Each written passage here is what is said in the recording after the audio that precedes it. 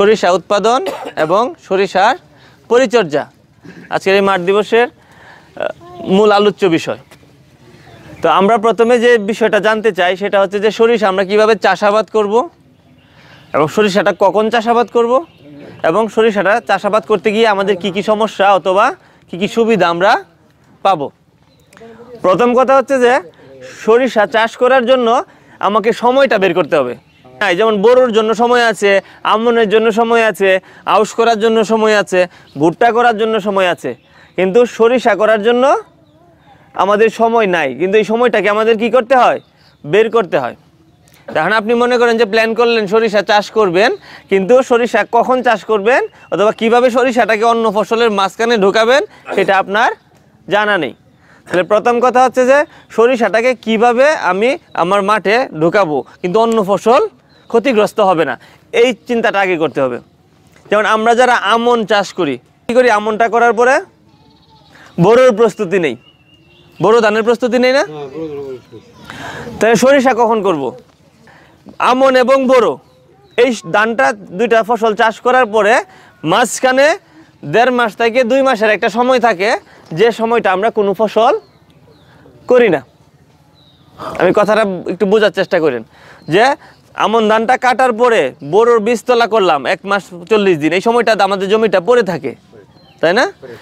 এরপরে আরও কিছু সময় থাকে, পড়ে থাকে। এইভাবে গড়ে গিয়ে দেখা যায় যে পঞ্চাশ থেকে ষাট দিন সময় আমার জমিটা পড়ে থাকে, নষ্ট হয়। আর আমরা সরিষাটাকে নিয়ে আসছি, এটা হচ্ছে পঁচাশি থেকে নব্বই দিনের একটা ফসল। বাড়ি সরিষা সতেরো হচ্ছে আশি থেকে বিরাশি, আর বাড়ি সরিষা চোদ্দ হচ্ছে পঁচাশি থেকে নব্বই। তাহলে এখন আমার সময়, দুইটা ফসলের সময়ের ব্যবধান কত? আট থেকে দশ দিন মানে পাঁচ থেকে দশ দিন। হ্যাঁ? আচ্ছা ধরে নিলাম পাঁচ থেকে দশ দিন। পাঁচও হতে পারে, সেটা দশও হতে পারে। আমার সময় ওই দিক কত? আমন এবং বড়োর মাঝখানে যে সময়টা, আমি কতদিন সময় পাই? যেটা পড়ে থাকে জমিটা, পঞ্চাশ থেকে ষাট দিন মানে প্রায় দুই মাস। তা আমাকে এই সরিষাটা যদি করতে হয়, তাহলে আশি দিন সময় লাগবে। তাহলে আমাকে বিশ দিন সময় বের করতে হবে। যেন আমি এই বিশ দিন সময়ের মধ্যে, তাহলে আশি দিনে এটা উঠে পড়বে। আর যদি তিরিশ দিন, বাড়ি সরিষা চোদ্দ করতে যায়, তাহলে তিরিশ দিন সময় লাগবে। তাহলে আমাকে আরও নব্বই দিন লাগে টোটাল তাহলে তিরিশ দিন বের করতে হবে। তাহলে এখন আপনাকে যখন আপনি বড় আমন চাষ করবেন আপনাকে আমন চাষ করার সময় চিন্তা করতে হবে যে আমি কোন জাতটা রোপণ করব। কোন জাতটা রোপণ করলে আমার তাড়াতাড়ি আমনটা আসবে? এই সরিষা রোপণের সময় হচ্ছে নভেম্বরের ফার্স্ট উইক মানে নভেম্বরের এক থেকে সাত তারিখ। অক্টোবরের পঁচিশ, বিশ তারিখের পরে রোপণ করা যায়। কিন্তু প্রবলেমটা হয় কি, ওই সময় একটা বৃষ্টি হওয়ার সম্ভাবনা তৈরি হয়, যেমন এইবার হয়েছে। এবার একটা বৃষ্টি হয়েছে না? ছাব্বিশ, সাতাশ তারিখের দিকে একটা বৃষ্টি হয়েছে, সরিষা যারা ওই সময় বপন করছে, তাদেরটা নষ্ট হয়ে গেছে। আর যারা পরে বপন করছে, তাদেরটা আসছে। সুতরাং আমরা কৃষি বিভাগে যারা আছি, আমরা মাঠ লেভেলে কাজ করতে গিয়ে দেখছি যে নভেম্বরের ফার্স্ট উইক মানে এক থেকে সাত তারিখের মধ্যে যারা সরিষাটা বপন করে, সর্বোচ্চ দশ তারিখ, এই সরিষাটা ভালো হয়। তো এখন যদি আমার আশি দিন সময় লাগে, তো নভেম্বরের যদি দশ তারিখ আমি সর্বশেষ সময়ে বপন করি, তাহলে নভেম্বর, ডিসেম্বর এবং জানুয়ারি, একদম জানুয়ারির একত্রিশ তারিখ পর্যন্ত আমার সময়টা লাগবে বিনা বাড়ি সরিষা সতেরো। আর যদি বাড়ি সরিষা চোদ্দ করি তাহলে ফেব্রুয়ারি দশ তারিখ পর্যন্ত আমার সময় লাগবে। মানে এই সময়টা পর্যন্ত। মানে এখন যে সময়টা আছে, এই সময়টা পর্যন্ত। এরপরে আমি আবার বড়োতে যাব। কিন্তু আমার তো তিরিশ দিন সময় ঘাটতি আছে। বিশ দিন সময় ঘাটতি আছে। ওই ঘাটতিটা আমি কোথায় থেকে বের করব। বড়ো এবং আমনের যে ফসলটা আছে, এই ফসলটা থেকে বের করতে হবে। আপনি তো বানাইতে পারবেন না সময়। আপনার এমনভাবে সরিষা করা যাবে না যে বড়ো করতে পারবেন না। আবার এমনভাবে আম সরিষা করা যাবে না যে না আমনও করা যাবে না। তাহলে তো কোনো ফসলই হবে না। তাহলে আমাকে চিন্তা করতে হবে, আমন যে জাতটা আমি রোপণ করতেছি, সেই জাতটা মানে অক্টোবরের তিরিশ তারিখের মধ্যে কাটা যায় কিনা। এমন একটা জাত রোপণ করতে হবে যে অক্টোবরের তিরিশ, সর্বোচ্চ গেলে নভেম্বরের সাত। তাহলে আমাকে এমন একটা জাত নির্ণয় করতে হবে বড়োতে, যেটা একশো পঁয়ত্রিশ থেকে একশো চল্লিশ দিনের মধ্যে কাটা যাবে।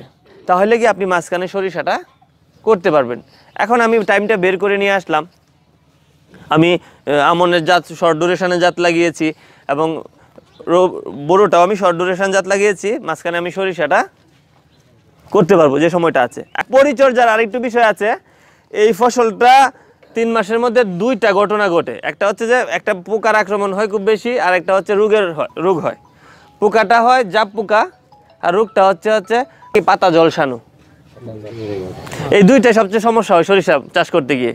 এছাড়া আমার চোখে খুব বেশি সমস্যা পড়ে না। আছে টুকটাক সেগুলো এত ক্ষতি করতে পারে। না। তো জাপ পোকার জন্য আমরা বলি যে মেলাথিয়ন গ্রুপের যে ওষুধগুলো আছে সেইগুলো ব্যবহার করা। খুবই লো কনসেন্ট্রেটেড মেডিসিন দশ লিটার পানিতে বিশ মিলি স্প্রে করা। দুই তিনবার স্প্রে করলে দশ বারো দিন পরে পরে দুই তিনবার স্প্রে করলে এই জাপ পোকার সমস্যাটা আর থাকে না। আর একটা হচ্ছে পাতা জলসানো। অল্টারনারিয়া ব্রাসিসির নামক একটা ডিজিজের কারণে এটা হয়ে থাকে। সেটার জন্য আমরা বলি রুব্রাল স্প্রে করতে। কি বলি? রুব্রাল। রুব্রালটা হচ্ছে ওইটা পাউডার জাতীয় ঔষধ, দশ লিটার পানিতে বিশ গ্রাম, দশ থেকে বারো দিন পরে পরে তিন থেকে চারবার স্প্রে করলেই সেটা শেষ হয়ে যায়। এতটুকু পরিচর্যা কি আমরা করতে পারব না? আর এতটুকু পরিচর্যা না করলে আপনার ঘরে এসে সরিষা দিয়ে যাবে? তা এই এতটুকু পরিচর্যা করলে যদি আমার এই সরিষাটা উৎপাদন করা যায়, তাহলে আমরা কেন করব না? তাহলে কি হলো? আমাদের সরিষা চাষাবাদ পদ্ধতিটা আমরা জানলাম খুব সহজ। আর পরিচর্যাটা কি কঠিন? তাহলে এইটাও সহজ।